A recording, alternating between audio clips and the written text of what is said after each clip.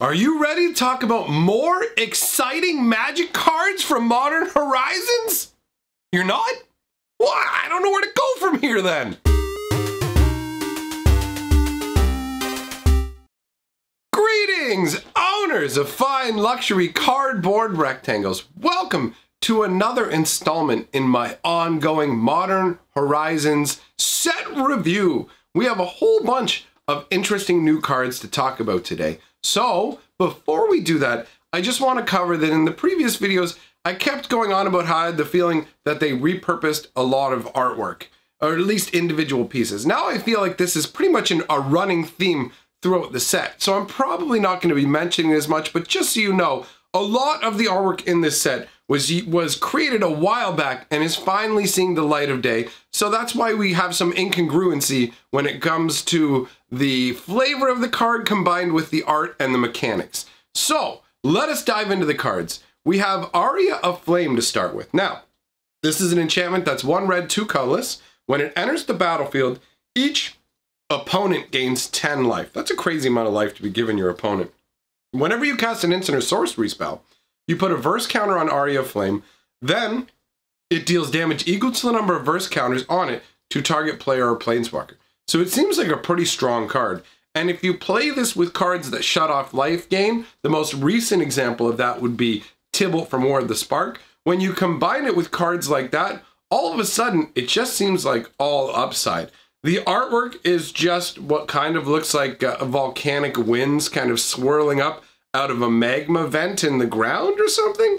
Again, remember what I said about repurposed artwork. This definitely feels this way. But overall, this feels like a pretty decent card. They call the set Modern Horizons, but in all honesty, when you go and look over the marketing materials, it says, hey, this is a brand new thing for Modern. But when you go and look at what people who were designing the set, like Mark Rosewater and also the head designer of the set have to say, it's more just like a random mishmash of things that are nostalgic, stuff that will appeal to EDH players. And uh, the head designer even used the term jank. He likes jank. So there's jank in this set. This card doesn't feel like jank. This feels like a card that has some interesting potential. Hell, there may even be situations where you actually want to give your opponent 10 life, and that, that part of the card will then be upsided to you as well. Moving on, we have one of the most exciting cards from today's spoilers for me, and that is one green, one colorless, Ayula Queen Among Bears. This is a 2-2. Of course it is, because it's a bear. Not only is it a bear, it's a legendary bear. Now, her abilities are, whenever another bear enters the battlefield under your control, you get to choose one. Either you put two plus one plus one counters on target bear, or target bear you control fights target creature you don't control. And the flavor text says, born from the oldest red cedar, nursed on the sap, nursed on the sap of the tallest spruce, coronated under the mightiest pine. And it's bo born from a red cedar. This this bear was born from a piece of wood from wood. What? What? Either way, this is awesome. In all honesty, this this card is fantastic, and there's at least one other card in the set that it's going to combine quite nicely with. Now that card should also be on the spoiler list, so we'll just leave it for now. But either way, I like this guy. I like it, honestly, or this girl, as you would have it. 2-2 for 2 with some nice abilities. Not too shabby at all. And the artwork shows what looks like a pretty regal bear. So this one works for me. Moving on, we've got, oh, well, who, who would have thought this was going to happen? Here's a card that combines with her. Ayula's Influence. Surprise, surprise.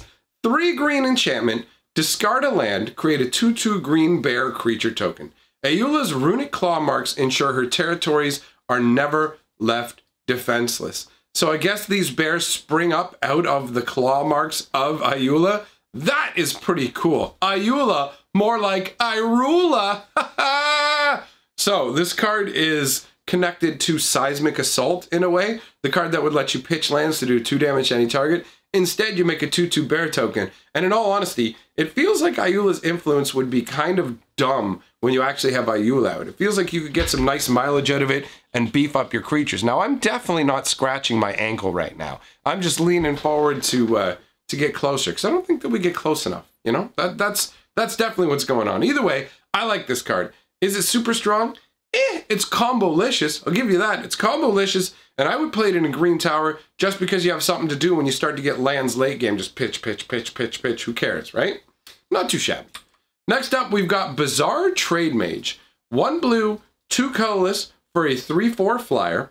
When Bizarre Trade Mage enters the battlefield, draw two cards, then discard three cards. He traded a lamp for a scepter, the scepter for a ruby, and the ruby for a simple rug. I don't think it's a simple rug. It, it's a flying carpet, for God's sakes. That's not a simple rug. No one would market a rug that can fly as a simple rug. Get out of here with your nonsense. So this card is a nod to the Bazaar of Baghdad, which is a land that has the same ability. You tap to activate it, and then you draw two cards and discard three cards. So that's a nod to that. The artwork, I actually really like the artwork here. It's got a lot of nice colors going on. It almost looks like a bird of paradise flying up there above this trade mage. And the 3-4 flyer is a nod to the old Serendibs as well. So this has this has some nice nostalgic feel to it. And the whole card ties together in a way where I don't go, okay, the flavor feels off. So this one's this one's cool. It doesn't feel too weak or too strong. It comes right in the middle for me. Next up, we've got Changeling Outcast.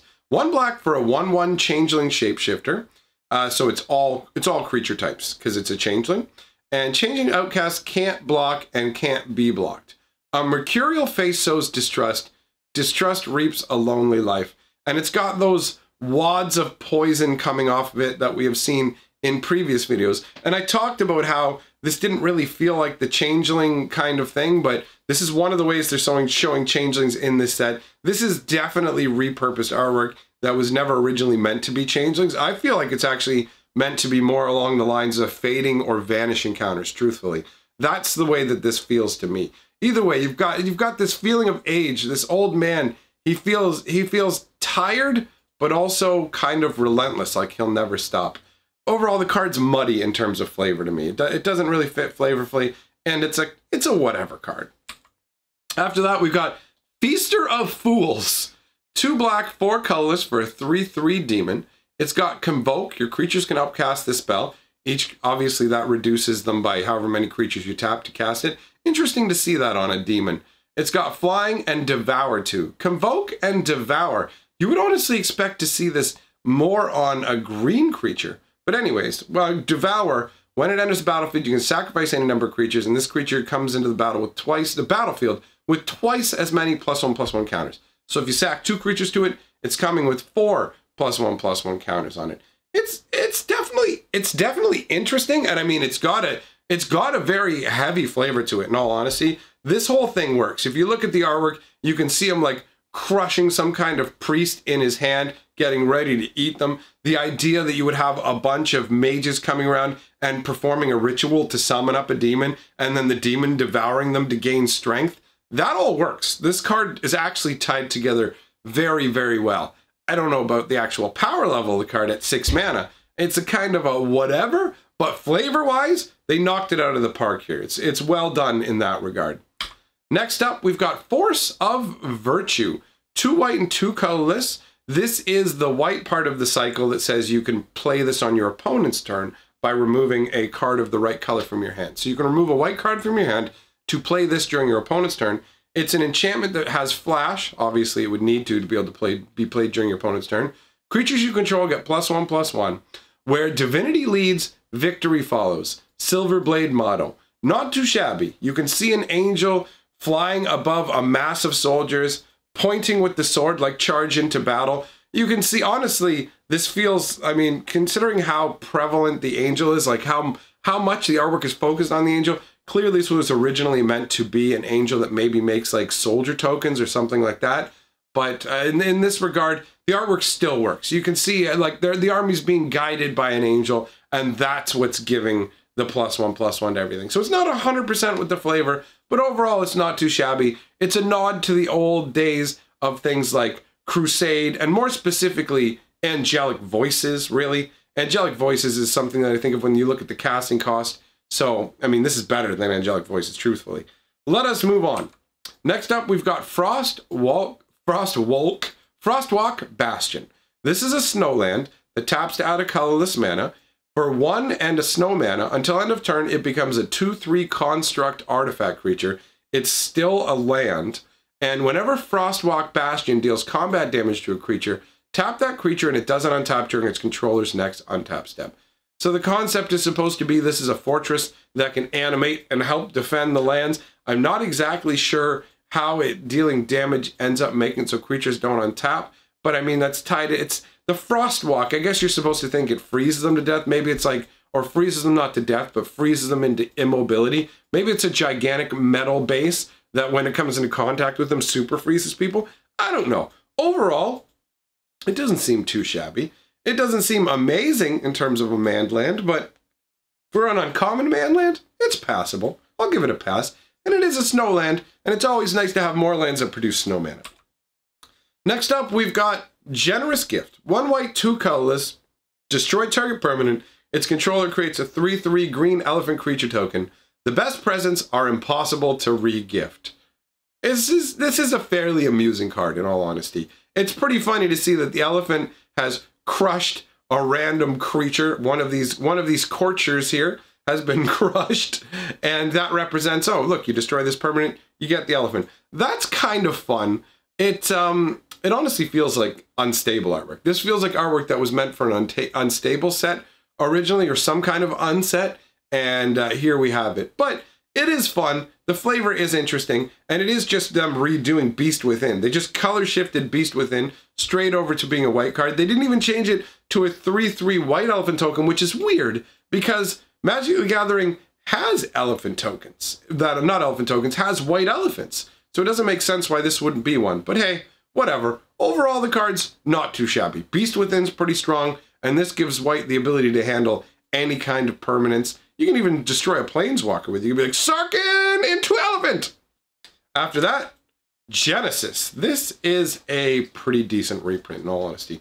One green and four colors for a 4-4 incarnation. At the beginning of your upkeep, if Genesis is in your graveyard, you may pay two colors and a green. If you do, return target creature card from your graveyard to your hand. Not Dryad, Centaur, or Avatar, but life itself. This is literally life itself. In all honesty, I like the artwork for this. This sort of like centaur made out of branches and trees with glowing golden energy flowing between its hands. This most likely was not ever meant to be Genesis artwork, but it feels really good. It feels right. It's got a, it's got kind of a regal feel to it, a high energy life feel to it, and it's deep in the woods. I like it. I like it a lot. Genesis is a really solid card. So this is just an all-around good reprint. Then we've got Glacial Revelation. One green, two colorless. Reveal the top six cards of your library. You may put any number of snow permanents, snow permanent cards from among them into your hand. Put the rest into your graveyard. The harshest environments offer the greatest opportunities for exploration. What? Okay, that flavor text is dumb. That, like, how does that like the greatest opportunities for exploration? Dangerous places are great to explore. Come on, kids, let's go down to the needle-filled quarry and do some exploring. I don't know, pal. I don't know. I don't want to go down to Rusty McStab hole. Thank you very much. All right, so, I mean, overall, you get to dig six card deep, and you could get a fair number of permanents in one go, so this doesn't feel like a terrible card, but it is just limited to snow permanents, so it's fairly restricted. The artwork is pretty interesting, honestly. Just, uh, you, I mean, the, you got the swirling ice around it. This is supposed to be like kind of scrying through ice magic, which I like the concept of. I really love the colors of this artwork specifically. The aquamarine, teal, whatever like different shades we have. I'm no color expert. Either way, it looks great, but the artwork also makes the flavor text sound kind of goofy. The harshest environments offer the greatest opportunities for exploration. She's just standing there, letting stuff swirl around her. That's not really exploring, all right? So, meh, Moving on. Mother Bear. Oh, yeah. One green, one colors for a 2-2 bear. Five mana. Exile it from your graveyard. Create two green bear creature tokens. Activate this ability only time you could cast only at a time you could cast a sorcery. Even without her, the cubs will always know their mother's love. Will they? Will they really? She seems to be wandering off on them like, whatever, I don't care. The bears are like in the back, Mama, don't leave me. It's like, Mama, don't love. Mama, don't love you. Life is a Mo bear. Next up, Mox. We've got a Mox, a tantalizing Mox. You know what's funny is I was like, I don't even know what tantalite is. So I looked up tantalite, and it's like tantalite is this kind of this kind of element, and it's like okay, and it's most strongly connected to names another element that I don't even know, and I'm like, okay, whatever, whatever. I'm not even gonna bother trying to bring this knowledge to my video because I don't know it, so I ain't gonna worry about it. So what do we get for this Mox? Well, it's got suspend three. So we're looking at an old time spiral ability. It taps for a man of any color, but you've got to wait three turns to get it out. So even if you have it on the first like turn and you play it, you're not actually going to get to benefit from it until the fourth turn. But it is still in box, and it does cost you nothing, and it does tap for a mana of any color, and that is all pretty impressive in my books. And the artwork is absolutely fantastic. In all honesty, I really love the artwork. I like the I like the sphere that's floating there above what looks like it basically looks like something you would see in a bridge, like the arch that you would see supporting a bridge, kind of all broken, but it's it's set up instead as like a cradle, but the actual Mox floats above it with nothing connecting it, giving that kind of magical mystical feel. And I like the fact that it's being kept in like a darkened room where the only light is in the center where the Mox is. Honestly, this card has genuine potential. I mean, it, it's it's it's a Mox. When do they make Moxes that suck? That doesn't happen. So this card is going. People are going to want this card. Eh, there's no doubt about it. The fact that it taps for a mana of any color is dumb, son. It's dumb. Next up, Pyrophobia. One red, one colorless. Pyrophobia deals three damage to target creature. Cowards can't block this turn. When I read this part of the card before, like when I was getting the spoilers together, I went, wait, what? What's going on here? Why are you making cowards can't block this turn a thing when cowards not being able to block is like tied into like one card and there aren't really cowards in magic, so it's kind of stupid. How is like it it's it deals three damage to a creature only at sorcery speed and makes it so cowards can't block. That's stupid. The only thing that saves this card from being absolute trash is the flavor text. It says, I hate this. I hate fire. I hate you for taking me on this road. I hate this. I hate fire. I hate you for taking me on this route. Norin the Wary. The problem is it doesn't look like Norin the Wary in the artwork, does it? It doesn't look like Norin the Wary at all. I love Norin the Wary, and I like his quotes, but it doesn't make sense to me to quote him on a card where he's not on it and they show somebody else. It's like, just show random things. Like on other Norin the Wary cards, it has a quote from him, but it'll just be like, here's the here's the jade statue or whatever. You know, I know weren't no ordinary hunk of rock. That kind of thing. So I don't know. I don't I don't know why they decided to put a Norin the Wary quote on a card that doesn't have Norin the Wary. It's the card is underwhelming to say the least. Seeing this guy running through a fire field, it's pretty good artwork. Honestly, if they hadn't attributed to Norin the Wary, it would probably make it better because the flavor text is enjoyable. It's just attributing it to Norin the Wary. It's like, yeah, I get it. It's a nod to Norin the Wary, but Norin the Wary wouldn't get himself in this scenario. So if they should have just had the flavor text say, I hate this, I hate fire, I hate you for taking me on this route, and it would have been better. Moving on, Ravenous Giant, otherwise known as Juzam Djinn, brought back. Two red, two colors for a 5-5. At the beginning of your upkeep, it deals one damage to you. The might of an army with the restraint of a child. And if you take a look at its artwork and you take a look at the Juzam's artwork, there are definitely some real similarities on top of the mechanical similarities.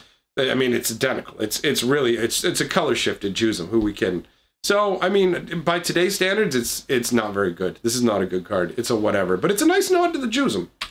Moving on, we've got Regrowth. This is a standard reprint. We've seen it a bunch of times already. Regrowth, one green, one colorless. Return target card from your graveyard to your hand. While the root remains, the tree yet lives.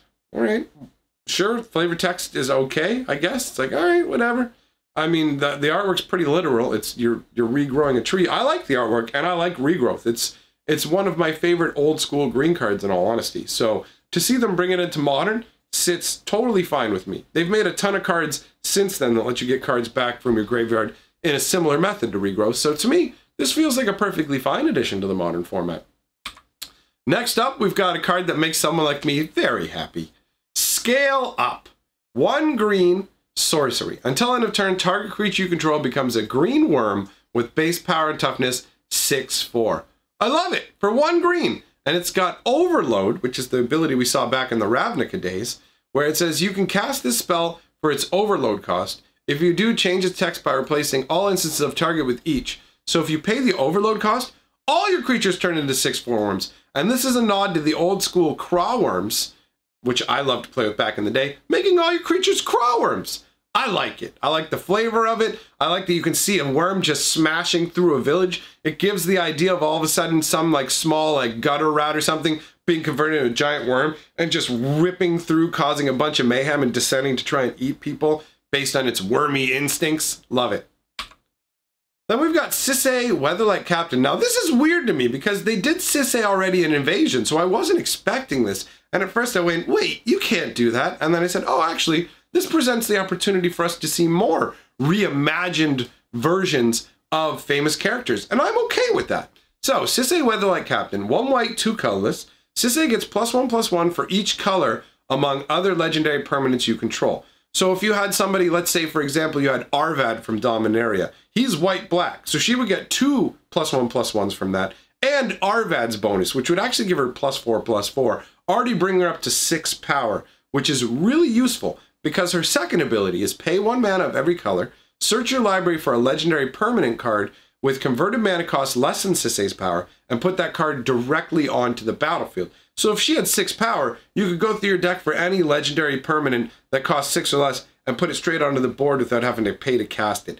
That's pretty amazing. And I like the fact that the one of each color makes me think of the legacy weapon, and the legacy weapon is tied into the ship that Sisay now like uh, was the captain for. So that all is tied together pretty nicely. In all honesty, I kind of wish they had done something a little different with her artwork wise because there feels like a lot of similarity between the two Sisays, truthfully. There doesn't seem a lot like a lot of variance. But hey, overall, this is good artwork. The card itself is pretty neat. It seems like it's something that's going to excite EDH and Commander players, which there are a bunch of uh, cards like that in these sets in all honesty. But overall, I give it a thumbs up. After that, we've got Splicer's Skill. Now, this is an interesting one. One white and two colors create a 3-3 colorless golem artifact creature token, but it's got Splice onto instant or sorcery.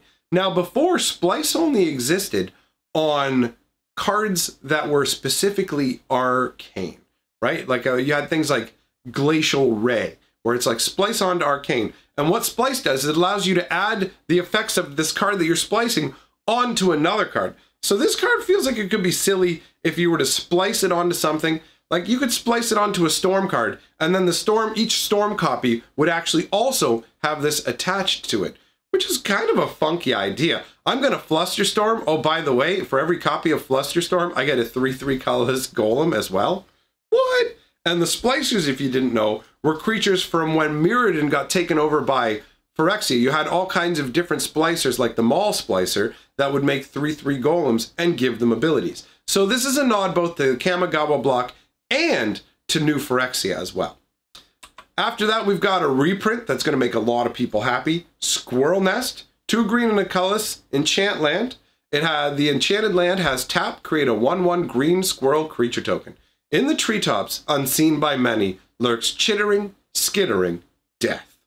I like this artwork a fair bit. It's kind of funny the contrast between talking about the chittering, skittering death, and you can just see a happy little squirrel just kind of sitting up in his tree, like, What's up, bro? What's up, bro? This is a card that people like to combine with Earthcraft when they're being dirty for infinite squirrels. But I mean, Earth, it's it's not something you can play in tournaments. It's something you can only play when you're being like a casual tabletop. You're gonna get it, boy. But either way, Squirrel Nest is a fun card. Being able to generate a creature for free every turn is pretty potent, and the fact that it enchants a land means it's really difficult to get rid of because you either need enchantment removal, which isn't available to all colors, or land destruction, which is a lot more scarce than it used to be. So overall, this is a good card with some really nice artwork. It looks like the world that these squirrels are from is a very beautiful, pastoral kind of just eh, the the the nice green rolling hills. It looks like it would be a beautiful place to visit. Somewhere that would be nice to just lay in the grass and look up at the sky and contemplate how nice life is. That's the feeling I get from this card. I, I, I definitely enjoy this artwork. uh, next up, we've got Thundering Djinn. One red, one blue, three colorless for a 3-4 flyer. Whenever it attacks, it deals damage to any target equal to the number of cards you've drawn this turn. It strikes like a bolt from a brainstorm. Ugh, that flavor text is awful. That it strikes like a bolt from a brainstorm. And it's like, dude, is someone letting is someone letting their kids write flavor text? This is terrible. Don't you get it though? Brainstorm's an old magic card, and so is Bolt. We did it! We did it! Confetti and party time, we did it! So yeah, five mana for a 3-4 flyer. Whenever it attacks, it deals damage to a target equal to the number of cards you drawn. So it's alright. It's okay. But it's nothing special. It doesn't make me go, woo, lordy McGlordy. Next up, we've got Umezawa's Charm. One black, one colorless. It's an instant. Choose one. Target creature gets plus two, plus two until end of turn. Target creature gets minus one, minus one until end of turn. Or you gain two life. Be ever loyal to your own best interests. Okay, and so this is a play on his his equipment, Umezawa's Jitte, which is a crazy old school, well, roughly old school, somewhere in the middle of Magic, because it comes from Betrayers of Kamigawa. But it's an older piece of equipment that was dumb and busted because they didn't they didn't realize what they were doing when they made it. So they screwed up pretty large, and the card was oppressive, super super oppressive. Now my nitpick with this card is sure you've got you've got what looks like you can say that's Umezawa, and you can say oh look at me I've got I've got I've got my weapon. But where's the charm? It's just it's just blood on his weapon. There's no actual charm. Normally when we have a charm card, there's something to represent the charm. There's literally nothing in this artwork to represent the charm. It, it should have been Umezawa's something else, like Umezawa's trick or something like that, because the charm, there's nothing here to say charm. Like there's just, there's a bunch of glowing motes behind him, but that actually looks like glowing trees or something, or maybe spirits off in the distance. But there's nothing in this artwork that says to me, hey, there's actually a charm here. So that, that part to me is a fail. In terms of strength of the card, I mean, you've got three options. You can use to boost a creature, give a creature minus, or gain a life, but they're in such small serving amounts that it doesn't really feel good enough. Do you know what I mean? Like for the two mana, I especially especially in modern, it definitely it it just doesn't feel it doesn't feel like it's strong enough. So it is what it is. But that's all the cards we have to review today, my friends. So at this point, I'm going to roll the golden scroll. These are the people at my back on Patreon or through channel memberships. And we're welcoming some new members today. We are welcoming Ragnar Eiswind. Thanks for joining up to my channel membership, brother. Appreciate it. I know it was a bit of a struggle to make it work, but it happened in the end. And we are also welcoming aboard Snowbuddy. So thanks, Snowbuddy, for joining my Patreon. Glad to have you on the Golden Scroll. Now, now that we've covered all the goodness there, talked about all that fun, it's time for me to end this. So thanks for being here, and for now, I'm history, baby.